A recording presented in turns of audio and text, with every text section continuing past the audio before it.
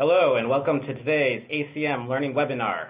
This webcast is part of ACM's commitment to lifelong learning and serving over the 100,000 computing professionals and students who are ACM's members.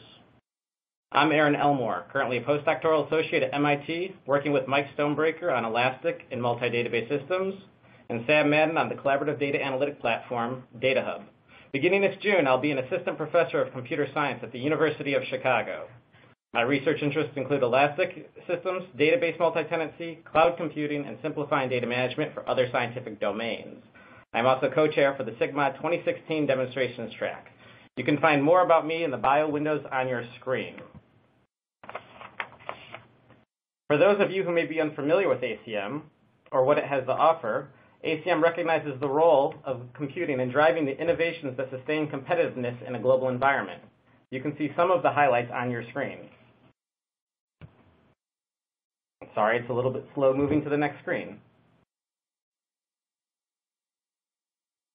So before we get started, I'd like to quickly mention a few housekeeping items on the slide in front of you. The slides will advance automatically throughout the event, a little bit slower than just happened. On the bottom panel, you'll find a number of widgets and resources. If you're experiencing problems with the slides or audio, press the F5 key in Windows, Command plus R if you're on a Mac, or refresh your browser if you're on a mobile device or close and relaunch the presentation. If that doesn't work, try rebooting your computer. To control the volume, adjust the master volume on your computer. At the end of the presentation, we will have time for questions. Please type your question into the Q&A box at any time and click on the Submit button. This session is being recorded and will be archived. You will receive an automatic email notification when it is available, and check learning.acm.org in a few days for updates.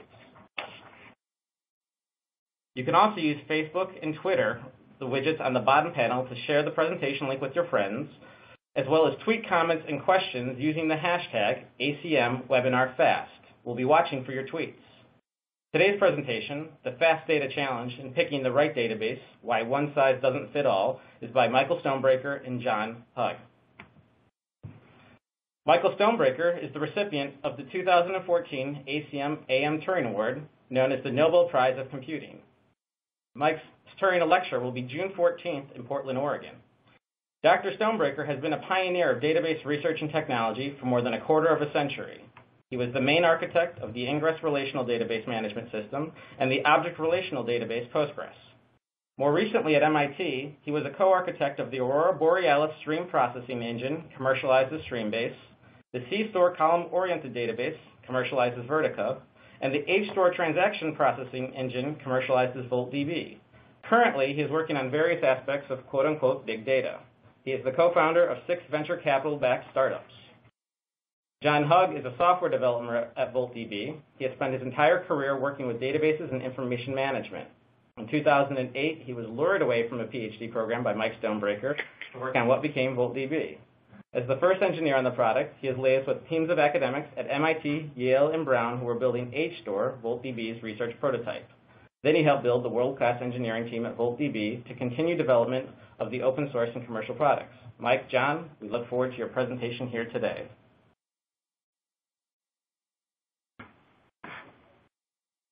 Okay. Uh, thanks, Aaron. That was a. I didn't realize you were such an orator. Uh, and uh, ACM should, uh, you know, make their marketing materials a little more, you know, casual. Okay, so today we are going to talk about fast data. Fast data is a marketing term that Volt that VoltDB thought up. These are just high message rate systems. And so we're going to talk about what they look like. And then we're going to talk about a bunch of ways to address high message rate, rate applications. We'll talk about some things that don't look like they're going to work. Uh, we'll talk about Volt uh, a little bit. And then we'll talk about, uh, or John will talk about the Lambda architecture solution. So that's what you have to, look forward to for the next hour. I want to just stress that this is not my Turing Award lecture. This is basically about fast data and my Turing Award lecture, the, the tentative title is called The Land Sharks Are on the Squawk Box Why Building Postgres and Riding a Tandem Bicycle Across America Have a Lot in Common. So that'll be June 14th in Portland, Oregon. Okay, uh, next slide. Okay, so what, what a, where do high message rate applications come from? Uh, so who is upstream from all these messages? Uh, sometimes it's humans. Uh, so for example, if you're a World of Warcraft craft enthusiast, as one of my close friends' son is, then basically managing the state of any such massively multiplayer game is a huge message rate application. Producing analytics from that message stream, things like producing leaderboards, uh, this is all uh, message rates that are coming from users' clicks. Uh, fast data also comes from the Internet of Things. Uh, it's well you know, well understood by now that essentially everything of commercial significance is going to be sensor tagged to report its state or location in real time. Uh, Waze is simply a current example of, uh, somebody who, uses your cell phone to generate real-time geopositioning and use that to uh, get you through Boston traffic. So the fast high message rates come from the Internet of Things, they come from humans, and they may well come from both places. So stock market transactions, one thing I didn't really realize was that electronic trading systems generate about 99% of the stock market transaction uh, transaction rate, but the other 1% comes from humans doing data entry. So fast data comes from wherever it comes from and may well come from other places in the future. And so the question is, uh, how high a message rate uh, are we talking about? Uh, and here, if you want to run 10 messages a second, you know, don't bother, you know, make do something more useful with the next hour because 10 messages a second can be run on your cell phone if you want to run a thousand messages a second, uh, a relational database system, one of the conventional legacy ones that I affectionately call uh, coming from the elephants, use whatever, most anything can do a thousand transactions a second.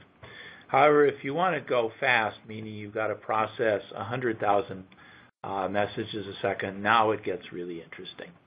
And I will use the word transaction and message interchangeably because in this world, that's pretty much uh, a message equals a transaction. So we're going to talk about trying to go fast, uh, meaning high multiple thousands of transactions a second. And if you don't need to do that and you know you're never going to need to do that, again, go do something better with the next hour of, your time. Next slide.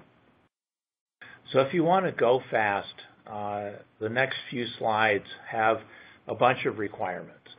The first one is obviously you need to keep up.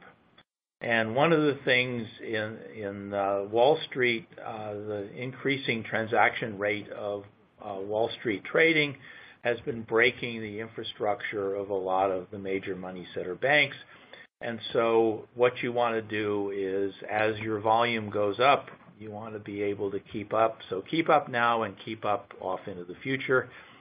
So if you want to keep up and you're currently doing 10,000 messages a second, and next year, let's say you're an internet startup, you everyone anticipates the hockey stick of growth. So next year you want to do 100,000.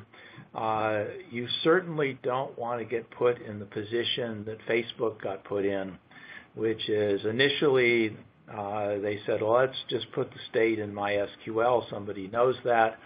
And then the hockey stick of growth came, and oh my God, they uh, they're now sharding in application code probably around 10,000 ways.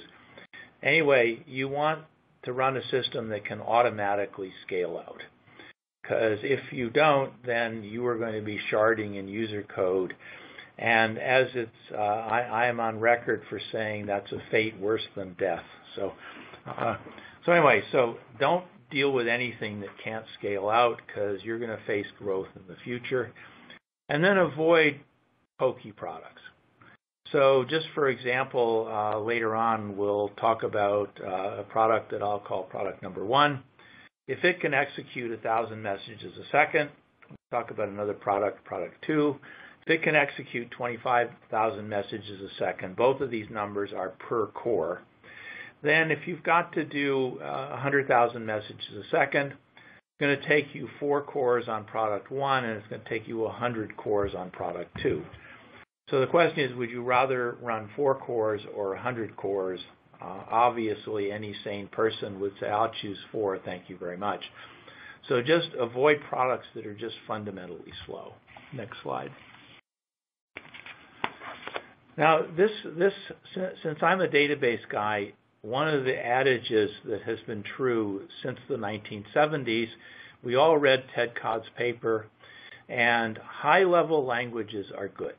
And writing in database assembler is bad. Writing in message assembler is just plain equally as bad. So make sure that you're coding your application in something that has as high a level language as possible. Uh, you want message-oriented SQL, which is you want SQL or something that's like SQL, and that needs to be augmented by windowing operations. And what that means is, is if you're the stock market geek, you want to do things like find the moving average of IBM stock, meaning every 10 trades, you want the moving the average over the last 10 trades. When you get in the 11th trade, you want uh, the average over trades 1 to 11 and so forth. So that's what's called windowing average, uh, windowing operations. So high-level language augmented with windowing, up, uh, windowing uh, operations is what you want. Next slide.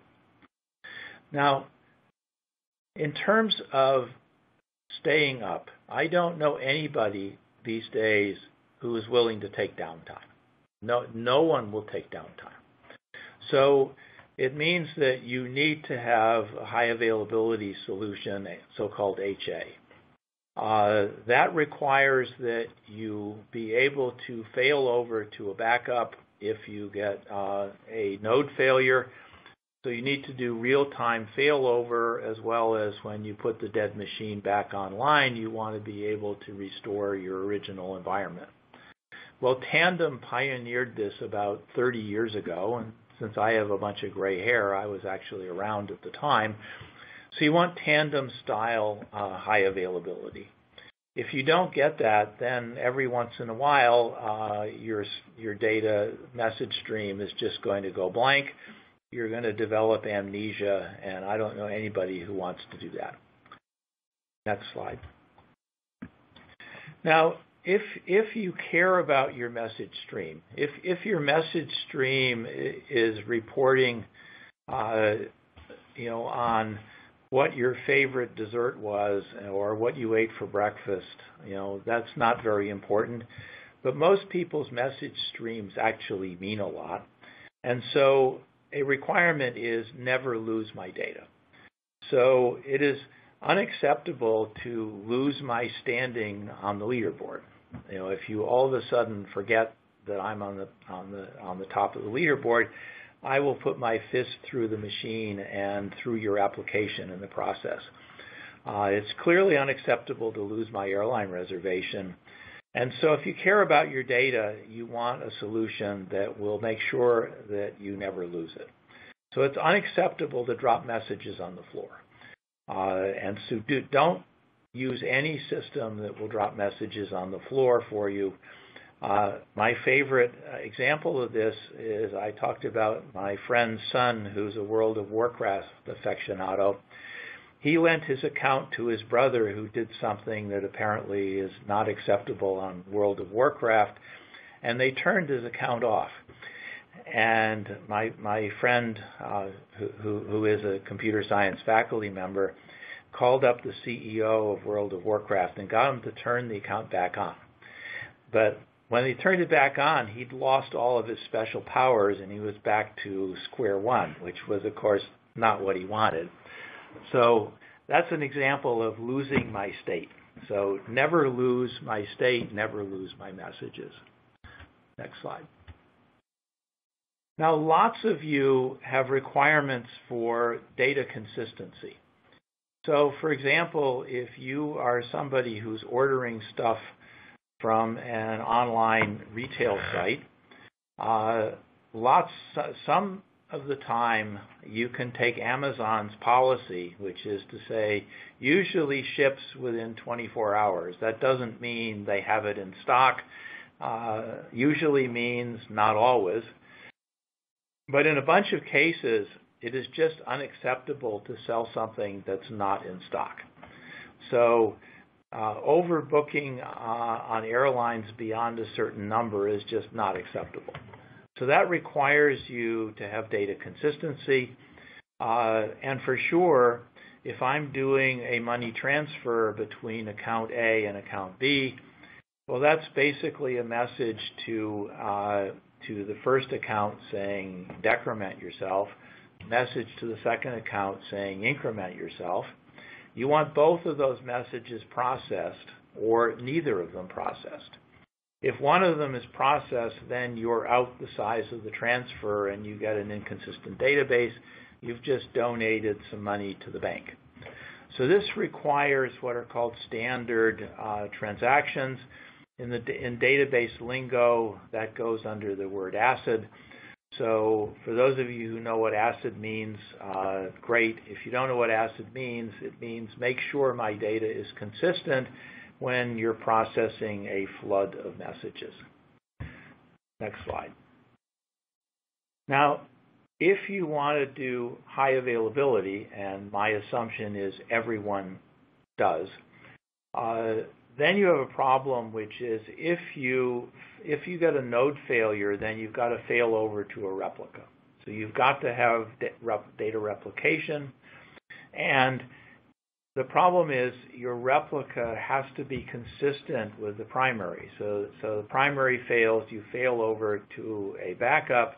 Backup has to look identical to the primary because otherwise you lose my airline reservation or uh, or you know I I bought the last widget in the primary. I fail over to a replica.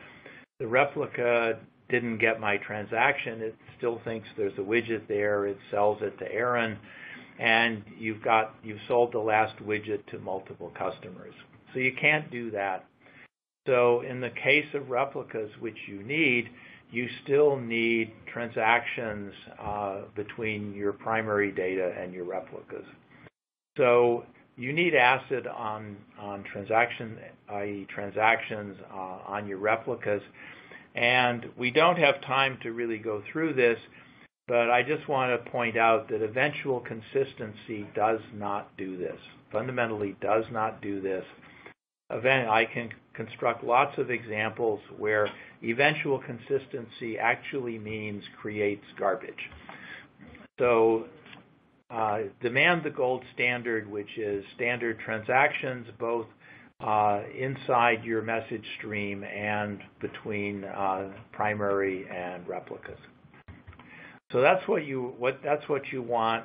Keep up, scale out, uh, support HA, uh, and get ACID on both primary data and replicas. So I'm now going to talk about some solutions. It's easy to dismiss a couple of solutions as non-solutions. The first one is traditional uh, enterprise relational database systems, uh, Oracle, SQL Server, MySQL, Postgres, dot, dot, dot, dot, dot. So in a slide or two, I will tell you why those are non-solutions. And then uh, all of the NoSQL products, popular ones include Cassandra, Mongo, dot, dot, dot. So I'll explain to you why uh, that's a non-solution. So two big classes of products are non-solutions. So to tell you why relational database systems are a non-solution, uh, I want to just summarize a paper that a bunch of us wrote back in 2009, which is, or maybe it was 2008, a while ago. Uh, if you put all your data in main memory and you start running you start running SQL and you're running transactions, uh, it turns out that uh, overhead is 90% of the path length. Not not figuring out that Aaron is some somebody you want to update and then giving him an update. That takes less than 10% of the total time. What takes the time is coordinating the disk-based buffer pool. Uh, all of the major relational database systems do dynamic locking. That requires a bunch of overhead. Uh, everybody has drank, has drunk the Kool-Aid from an IBM researcher named C. Mohan. Uh, he is he has written down the gold standard of write-ahead logging, a system called Aries. Uh, the overhead of Aries is substantial, and then multi-threading is is a topic that's currently getting a lot of air airtime. It's expensive because if you it requires latches if I have to wait on a latch, then I'm getting nothing done. In aggregate, these four things chew up order 90% of your machine resources. So that means that conventional conventional disk-based relational database systems are just plain slow. And so, so they are limited to a few thousand transactions per second because of their algorithms for doing these four kinds of services, which are all, all came from the 1980s. So if you know you never need to go more than a few thousand transactions a second, messages a second, then have at it, use, use a relational database system. If there's some possibility you need to go faster, then you will hit a very, very solid wall Uh, that you're then going to have to deal with in application logic. This is what causes Facebook to have to shard MySQL some 10,000 ways, a fate worse than death. So relational database systems work fine. They're just plain slow. Next slide. So NoSQL systems. Well, the first thing about NoSQL systems is they give you sort of message assembler. They give you a low-level language where you've got to describe the algorithm for processing everything. And, uh, and that means that you write much more code than if you get some high-level language like SQL. So message assembler, database assembler has basically been dismissed by the community as a whole many, many years ago. Uh, NoSQL is a return to the time of the 1970s. Second thing about NoSQL is you get no ACID. And so you do not get transactions and uh, you can lose data, you can lose data on replication.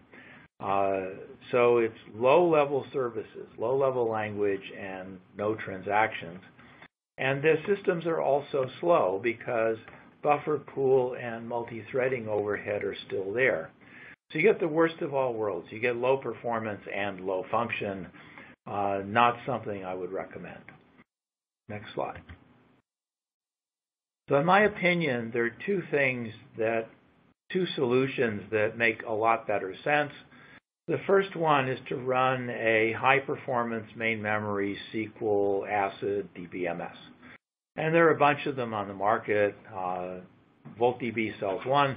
Hekaton, which is a piece of SQL Server 14, is another uh, exemplar of a SQL main memory ACID DBMS. HANA is uh, in their roadmap is to move HANA to be a similar kind of engine. So there's a bunch of solutions that are basically SQL ACID uh, high performance engines. Second thing that you can do is run a what I call complex event processing system, CEP. Uh, Storm is probably the most popular one uh, these days, but there's been a, a bunch in the past. Uh, Streambase is another exemplar of a CEP engine. So those are seemingly the two games in town. So next slide. Let me just give you two quick examples to show what's good at what. So Here's a, a, an example from a uh, typical hedge fund who's doing uh, electronic trading Wall Street style. So they're looking for patterns in a trading stream. So find me a strawberry followed within 5 milliseconds by a banana, followed within 10 milliseconds by a grape. So find me a situation where IBM went, went up by a certain amount and Oracle went down by a certain amount and so forth. So the, you're looking for a complex pattern in a fire hose, and CEP systems are a natural for this style of application. Next slide. However, uh, here's a second uh, example from an electronic trading system. Uh, there is a very large uh, electronic trading system that has trading electronic trading desks all over the world. And what they want to do is maintain the global state of their enterprise for or against, uh, long or short, for every stock that they trade. So a message comes in saying Hong Kong sold five shares of IBM. You want to simply update the state of your position uh, for IBM by that those five shares. And then their whole idea is this is a risk mitigation system. If they if their position gets too risky, uh, then the C, CFO wants to pull the plug. So ring the red telephone if there's too much risk. And for goodness sakes, don't ever lose any of my messages because that means that the state I'm keeping is now wrong. So this is one where there's a big state to keep, and the messages simply update a substantial state, and you're going to run analytics on that state. So this is a sweet spot for SQL-style ACID main memory DBMSs. Next slide. So CEP is a natural when you when you're looking for lots of patterns and you're not trying to keep track of stuff. Uh, main memory SQL engines are a natural where you're trying to keep track of a lot of stuff, but the patterns aren't aren't very aren't nearly as important. So essentially, all real-time analytic applications are in the second category, which is you're trying to keep track of the state and then run some analytics on it.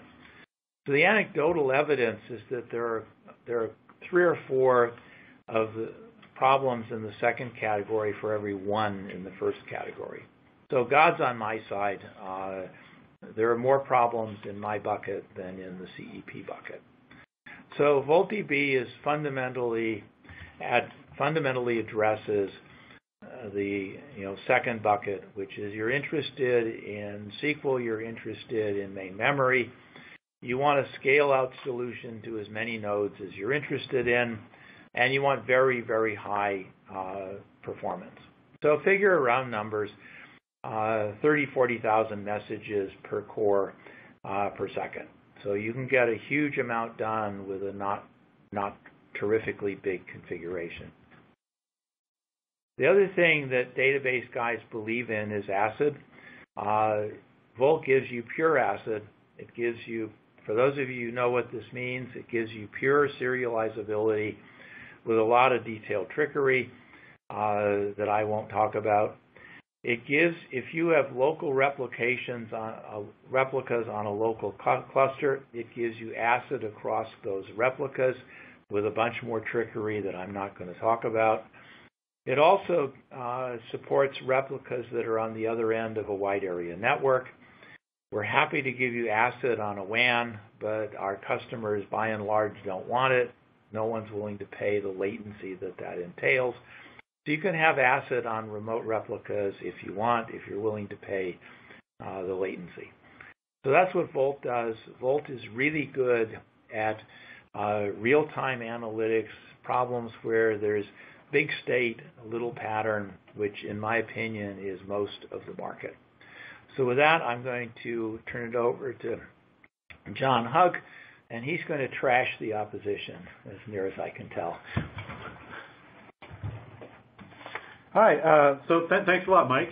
Um, so I'm going to talk a little bit about a fast data example, uh, which is you know one fast data example out of out of many, but maybe can help ground this problem a little bit and, show you a little bit about how VoltDB uh, compares to some other solutions. Talking about uh, VoltDB and the Lambda architecture, uh, Lambda architecture is one sort of set of set of patterns, set of tools to to solve this sort of fast data problem. Um, and, and, we're going to look a little bit about how Volt specifically compares to that. Uh, so, so what is Lambda for those who aren't aren't familiar? And you know, there's certainly a lot of resources online if you're interested in this. Um, Lambda basically says, look, you know, batch processing is pretty well understood. It's fairly robust. We can process a lot of data. We can do a lot of interesting things with that data, uh, but we can't do it with any reasonable latency. Uh, it's, it's not a fast system. It's a, it's a, I can do it, but eventually. Uh, on the other hand, um, problems where, where latency is important, stream processing, uh, things where you want to make decisions as, as the data actually is mutating, as the event is actually happening, they have very different requirements than batch processing, and that space is a lot less mature. Uh, it's, it's, mostly because the data, uh, because it's not at rest, it's moving between different systems, it's being transformed, it's being processed. Uh, it's a lot more difficult to keep track of the data, to manage things and failures. Uh, essentially, you know, most of the solutions out there are, complex, complex, less robust, uh, and, and prone to user failure in addition to a system or hardware failure. So what the Lambda architecture says is, you know, I accept both of these things, uh, and I'm going to do both at the same time in order to, to compensate for both, both sides. I'm going to use the, the stream processing to get my immediate responses, but I'm going to use batch processing to make sure those responses are right. It may take some time to make sure those responses are right, but you know, over time, I can get a fast answer, and I can ensure that I have a correct answer and, and a historical answer. So what does an example Lambda stack look like? Um, this is an example Lambda stack from somebody who's actually using this technology. Um, they're doing ingestion with Kafka, which is a very, very uh, more and more common thing these days. Uh, and they're, they're splitting that Kafka stream into two layers, the speed layer and the batch layer per, Lambda. So in the speed layer, they, they have Storm and Cassandra, uh, Storm for processing, doing distributed processing, and Cassandra for managing distributed state. And in the batch layer, they're using uh, Amazon S3, uh, Elastic MapReduce, and, and cascading uh, to, do the same computations they're doing in the speed layer, but in, a batch-oriented way, in a, in a more persistent way than they're using the speed layer for. And, all these services are coordinated by Zookeeper. So these are, you know, kind of seven tools, and you know, an actual customer is using different different use cases. Different users might switch out some of these tools for different ones. There are a lot of different combinations you can build. Um, but this is, this is certainly one example, and it's not, atypical.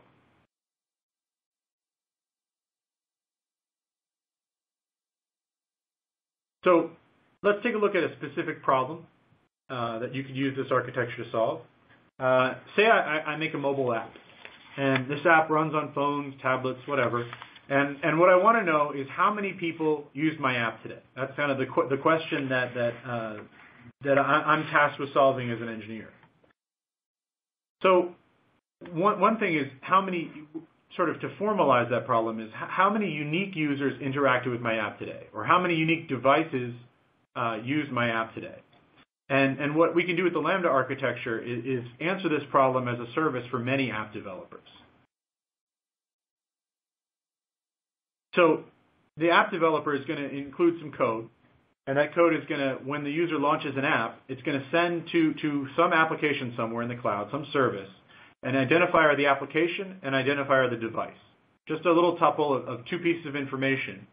And the cloud is going to compute uh, how many people, how many unique people or unique devices have used that app today.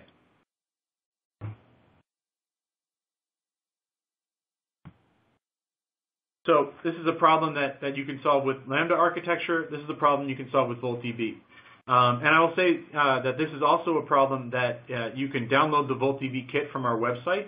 And all the code to solve this problem, our example app, is, is right there in the examples folder if you download our kit.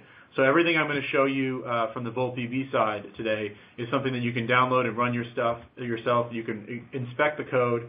Um, it, it's, it's all totally public. So why can't I do this uh, in MySQL? Or why is this a, a challenging problem? So let, us say I'm, I'm, the company that's, that's providing this service to app developers. Um, I, I, might have a million different app ID, device ID pairs per second coming in. I might have a billion mobile app users that I have to differentiate between coming in. So the naive way to do this is simply keep a, a database somewhere that keeps track of all these individual users and which apps they've used today and when new messages come in, do lookups. Uh, the problem is that as, as the number of users and as the number of apps and as the number of, of times things have opened increase to these, very high rates that we're talking about with mobile devices, with the Internet of Things, with sensor data, with all the you know stock data and ad serving data, all the data streams that, that products like VoltDB and the Lambda architecture look at, uh, at this rate, this becomes really expensive uh, to solve this way naively. So, so one of the things people do is they turn to probabilistic data structures. So probabilistic data structures um, are, are, great ways to trade a little bit of accuracy for, for a tremendous efficiency in terms of processing uh, speed and processing storage. So hyperloglog is, is the one we're going to use uh, for this particular application. This is used in the Lambda architecture. Uh, the example, uh, the example uh, stack that I showed on the previous slide, um, it's used in the VoltDB example that you can download. There's code for this. You don't necessarily need to understand how hyperloglog works. It's really fascinating if you want to look into it. Uh, if you're not aware, it's, it's, a, it's a neat technology. It's not particularly complicated. Uh, but the idea is that for, for a fixed set of space per app and a fixed CPU cost per app, uh, it can tell you uh, with a bounded accuracy how many unique uh, users have used your app. Or if you show it, for example, a string of, of, integers, it can tell you with bounded accuracy how many unique integers are in that stream. So for a few kilobytes of blob stored in, in VoltDB uh, or, or in Cassandra or in some other system, uh, I can get 99% accuracy on, on how many unique uh, device IDs are in that blob. So what does the app look like in VoltDB? You know, we said that the, the app identifier and the device ID are sent to the service. Um, it's sent to a, a VoltDB cluster. The, the message is routed to a VoltDB server, and it's run in a, in a procedure. Uh, we're going to call it count device estimates here. And, and the procedures that ingest it um, are, are a mix of Java and SQL. So this may be similar to the Storm uh, stack that was seen before. It could be that could be a mix of Java and, and, and uh, Cassandra CQL or, or, something of that nature. Um, it's really straightforward to read. You don't have to understand a complicated procedure language. If you're familiar with Java, it's not the most complex Java in the world. Mostly, you know, people use if statements and loops. Um, and you interact with SQL and, result sets from SQL statements. Uh, so this stored procedure operates on, on a state, uh, on an estimates relation or an estimates table that has uh, four values in, it. An app ID, which application is it? Uh, a device count, which is the current estimate for that application for the day, uh, and a hyperloglog blob, which is basically the, the bytes that, that we're using to do, compute that estimate. Uh, this table is partitioned uh, horizontally on, on the app ID so that we can add apps and we can scale horizontally. Uh, and, and, we've got a rank index on the actual computed estimate so that we can, uh, we can get top tens and other things. We'll look into that a little bit more as we go. So kind of an overview of pseudocode of what this thing does. In the stored procedure, we've got a hyperloglog library. This is some third-party code that's in our example that you can download uh, that does generic hyperloglog operations. Uh, so what the VoltDB stored procedure code does is it finds the row in, in, in the database for this particular app ID, um, and it will use the hyperloglog library uh, to, to update basically the, the blob stored in that row with a new device ID that, that's come in, or perhaps it's not new. That, that's kind of the point.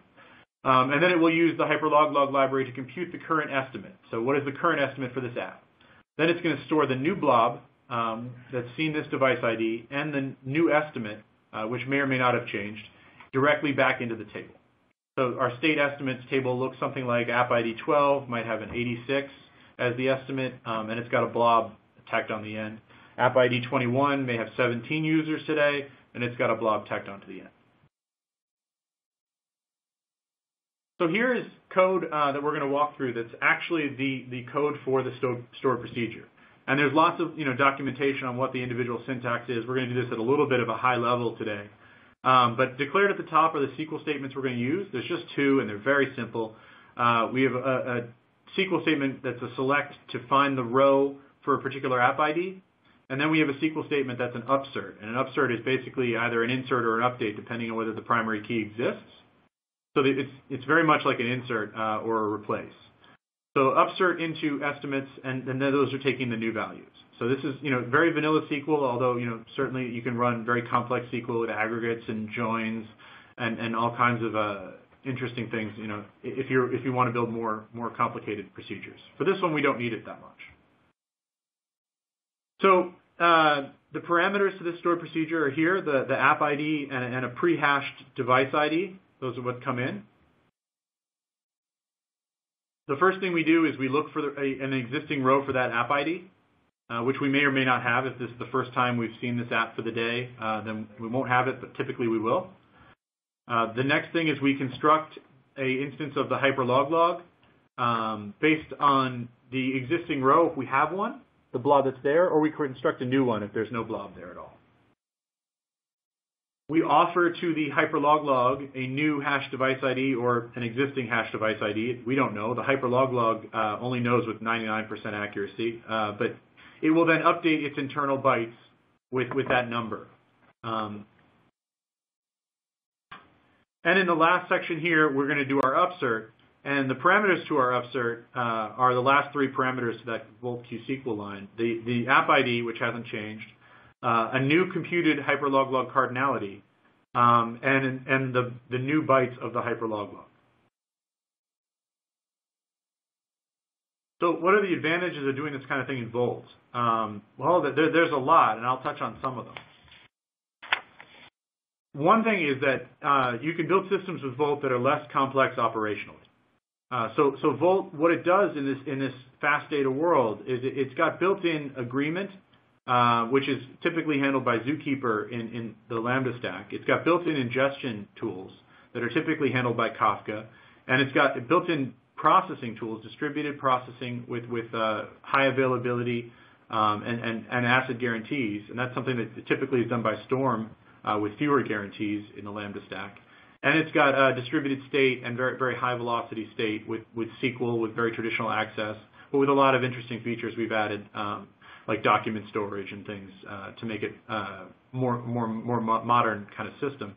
Uh, that's typically handled by Cassandra in, you know, this particular app. Although you know, people in the Lambda stack use lots of different data stores. Cassandra is just the example in this stack.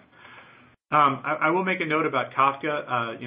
Kafka is something that's sort of everywhere these days, and Volt is uh, very good at ingestion on its own, but it also is very good at we're playing with Kafka. We've got native Kafka ingesters. So if you want, you can have your, your system ingest into Kafka and then push that into VoltDB. Um, that's something that is often kept around even, even in VoltDB apps.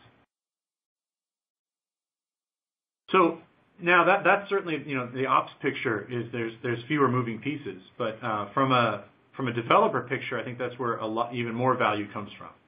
So, so certainly, uh, I can write less code using VoltDB. I can leverage the strong consistency, the ACID properties of, of these Volt stored procedures. The fact that the state and the agreement and the processing are integrated means that I have fewer ways that things can fail separately. Uh, I have fewer use edge cases I need to worry about when I'm building my application to be robust. I can code assuming that I'm the only one who's modifying that data at a particular point of time. I don't have to worry about concurrent access. That's why that code I showed you, basically, the pseudocode is I need to do four things. The actual code is I've got you know four bits of code um, that looks very much like that. There's almost no error handling in there, and that's not because it's an example. That's because that, that transaction is either going to completely succeed or completely roll back.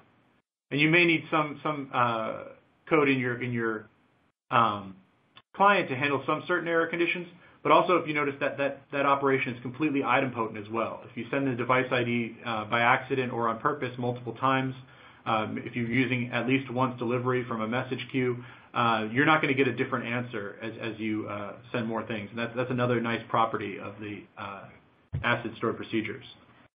Um, so other things that you can do here, uh, the hyperloglog code is completely used by the stored procedure. And that's another way that we're different from a lot of the other data stores. So because the hyperloglog code is completely used by the stored procedure, the, uh, it, the clients using it don't have to know anything about that. They can select the app ID device, count from estimates, order by device count descending, limit 10. That's just SQL for get me the top 10 apps. Um, and they don't have to know anything about the hyperloglog to read the data. In a lot of other systems, the client would also have to know how to process the hyperloglog, or you'd have to materialize that answer. But Volt can do it in real time. Um, and not mentioned here necessarily, but uh, your code is also more flexible. If I wanted to go in and change that procedure so that it was an exact count up to 1,000 um, and then uh, a estimate after 1,000, um, that's really not that hard to do. And you don't have to change the client code at all. The client code can remain exactly the same. We actually have examples of an exact counter, a hybrid uh, exact and, estimate counter, and the, pure estimate counter in the Hyperloglog, sorry, in the unique devices app that we ship with our product that you can take a look at. So now we're going to show a demo of this app.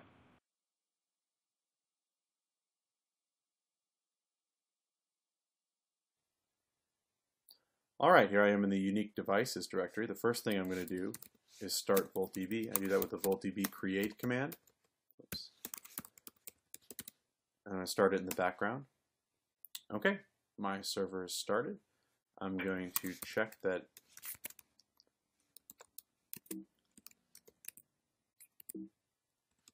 started successfully. Excellent, that's the output I want to see. All right, the next thing I'm going to do is load my DDL. So I'm going to use the SQL command tool that Volt packages. And I'm going to pipe in the ddl.sql file that is in this directory. Okay, so now I'm going to go look at the Volt Management Center. This is something that's new in 5.0. And we're going to take a look at the Schema tab at the top. And you can see schema, procedures. Uh, you can size how big your database is going to be. Uh, here we are. I can look at the tables. Here's the estimates table. And this is what stores my app ID, my device count, and the hyperloglog var binary structure. Uh, I can see from here uh, procedures that use this table. Count device estimate is, is the one that we're interested in. Um, I can look at indexes defined on the table. I'm going to click on count device estimate. It's going to take me to the procedures and SQL tab. And then I can see count device estimate, this procedure that's loaded, uh, how it's partitioned, what its parameters are. Uh, I can even look at the SQL that it contains. And for any particular SQL statement, I can click uh, to expand it and show the plan for that SQL query. Uh, so this is a great tool to learning all about procedures, schema, everything about your database. Um, I can go back to the DB monitor. You can see that right now the CPU, the amount of RAM, uh, and the transactions per second is very low. So let's start some work. So to do that, I'm going to run a script that comes with the example called run.sh. Here's the client. I'm starting the benchmark. It's running about 60,000 calls to that procedure per second on this laptop. Uh, certainly it's a lot faster on, on a uh, server. So I can see here that now my where my latency, my cluster throughput is 67,000 transactions per second. You can see which stored procedures I'm calling here in the Volt Management Center. Uh, so here's you know 1.8 million invocations, and that number is climbing every time this refreshes. This shows me uh, procedures that are being called, how many rows are in tables, a lot of information that's really useful when you're trying to understand how your app is performing. I highly recommend checking out VMC. So that's the example. Uh, it's really easy to run. When I want to stop it, I can just hit Control C. Um, and VoltDB stop will stop my database. And now this was done with full durability. So if I type VoltDB recover, it will replay, uh, it will reload the snapshot and replay any, any logs uh, and bring you back to exactly where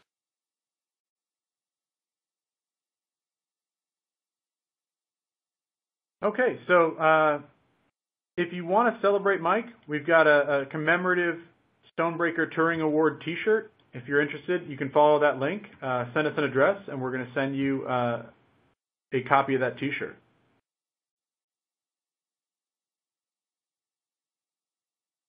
Thank you, guys.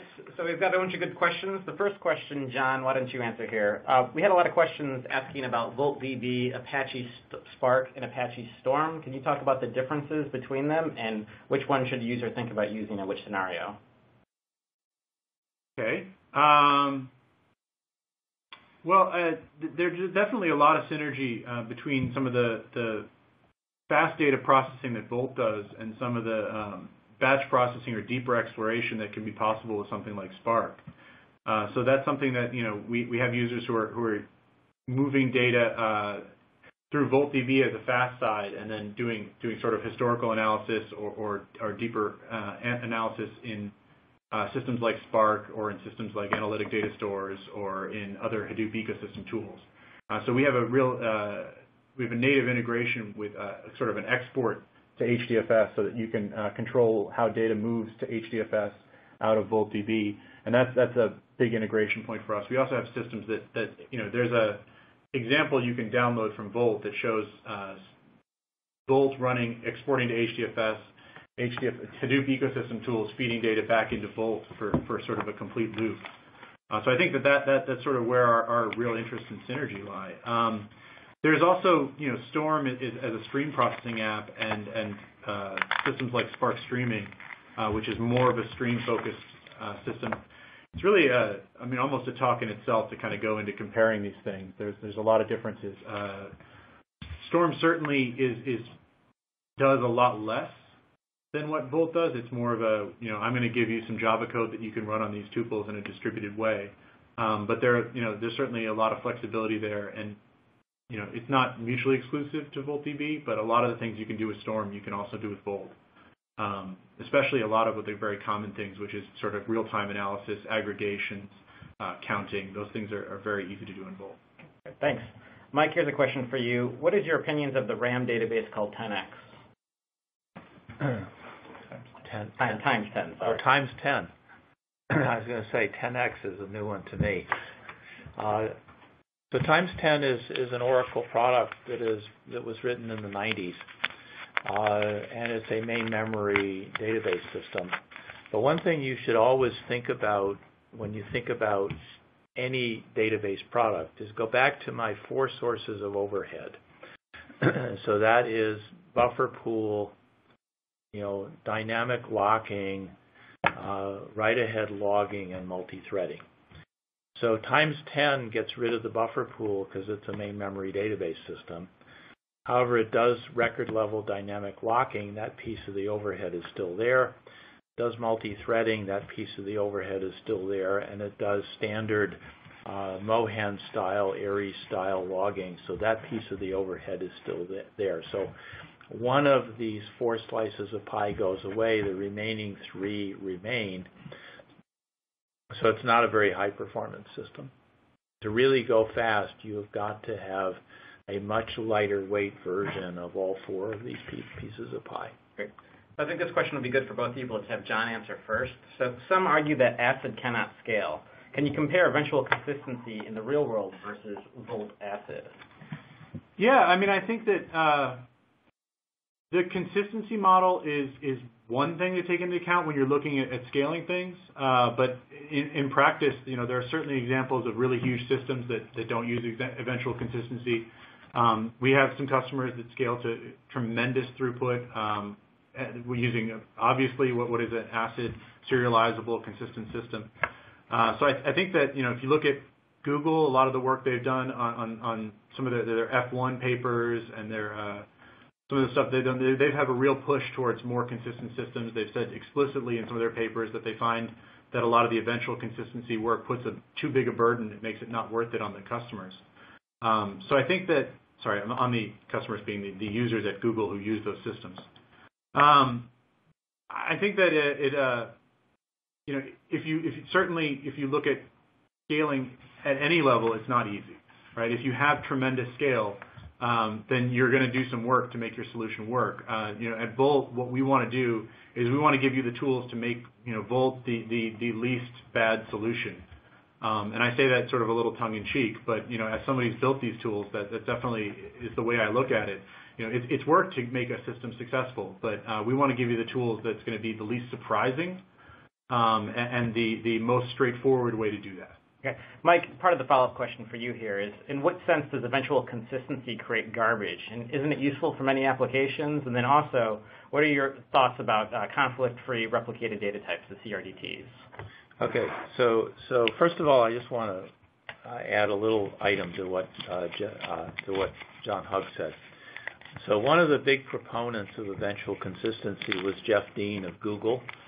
Uh, and you should all read his Spanner paper from a couple years ago. He basically said, I was wrong. Eventual consistency is not what Google customers want. They want uh, real ACID consistency. So just go if go, go read the Spanner paper for why uh, ACID is good and eventual consistency is bad. The real answer to your question is suppose I have two two updates. Update one gives uh, Aaron a 10% raise. Update 2 gives Aaron a $500 bonus. So the trouble with eventual consistency is you can you can execute those two updates in one order on the primary and in a different order on the replica. So if you think about this for a minute, those two updates do not commute if, you, if the order changes, you get a different answer on the primary than you get on the replica. So eventual consistency depends on uh, your transaction being reversible, meaning commutative. And if your if your updates are not commutative, you create garbage. And so that's the answer is if you if you have the special case where you know your updates are commutative, then it will work correctly. If you don't have that case, you are in deep yogurt. Great, Mike. Uh, John, are there any special considerations for high-rate geospatial temporal data? For example, the Waze data that has both real-time and historical space-time analytics?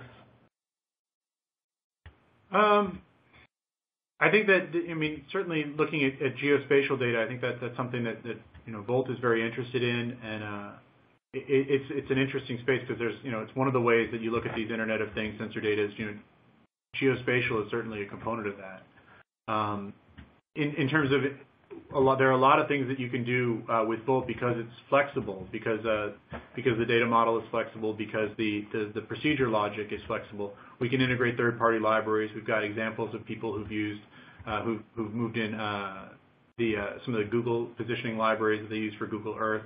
Uh, there's some other other tools that we've used, um, but it's it's an exciting uh, space. I don't know if there's necessarily considerations that, are specific. Okay.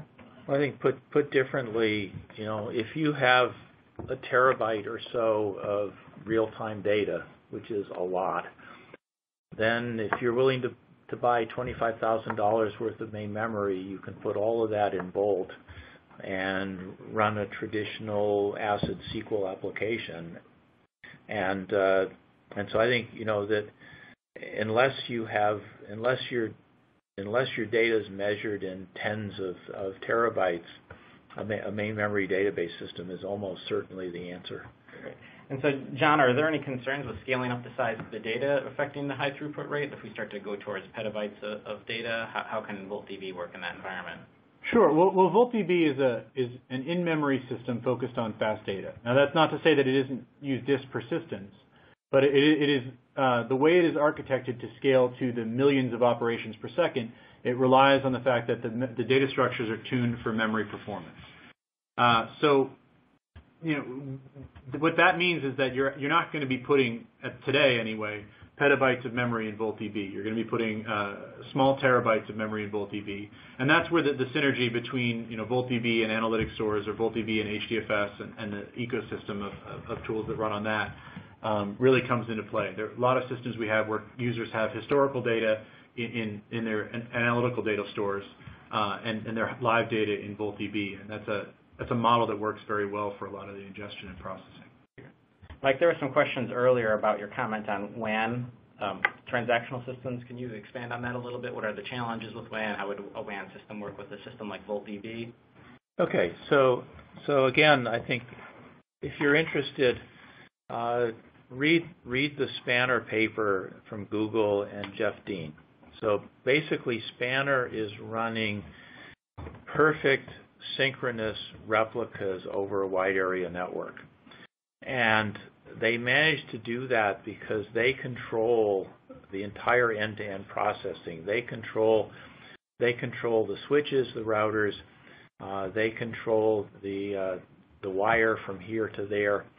And so they have the entire end-to-end system, and by cleverly en engineering everything, they can make the latency uh, of synchronous replicas uh, down into reasonable numbers of milliseconds.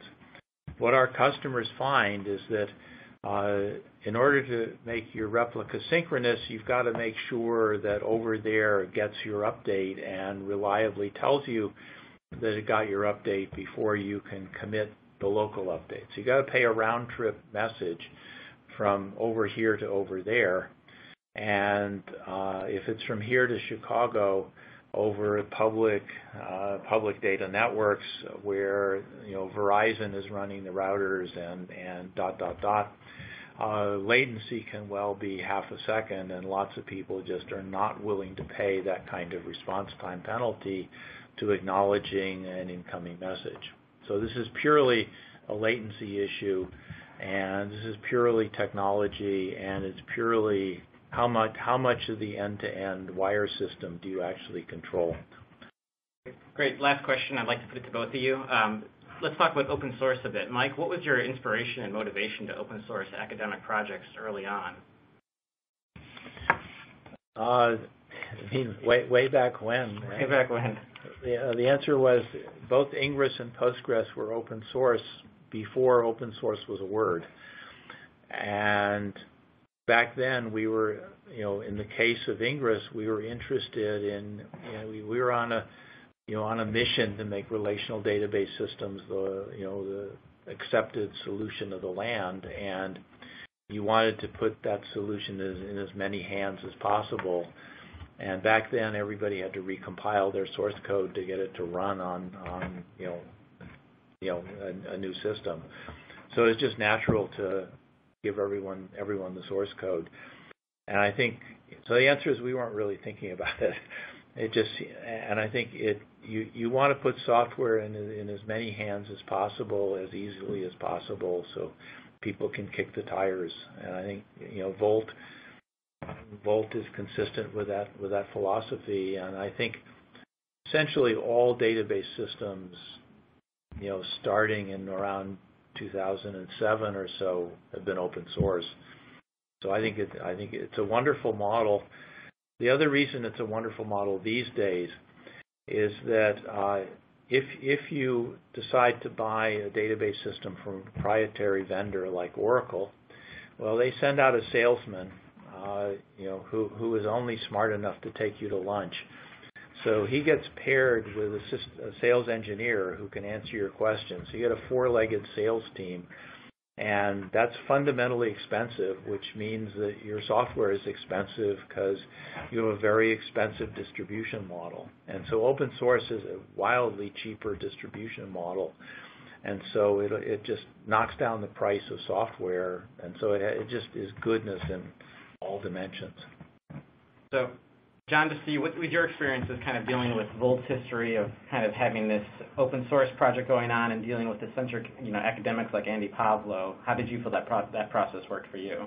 Oh, well, that was. I mean, I, I think most of that was uh, in the, the summer of 2008, and that that was a it was certainly an exciting time because we were you know building everything from scratch. And I remember we went to a meeting with with Mike and uh, told him that we could do. Uh, one transaction a second.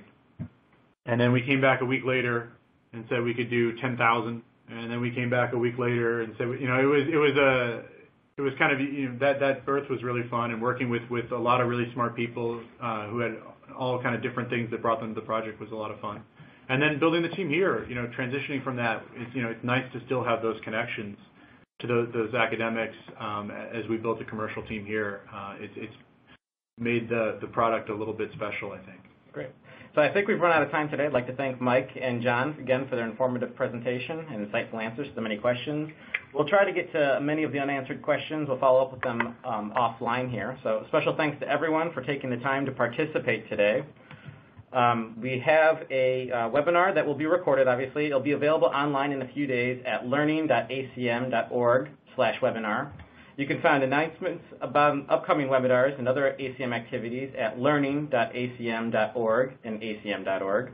Also, please fill out a quick survey. It should be on the screen here, where you can suggest future topics or speakers, and that should be on your screen now. So this is Aaron Elmore saying goodbye for now and stay classy. Thanks again for joining us. Hope you'll join us again in the future.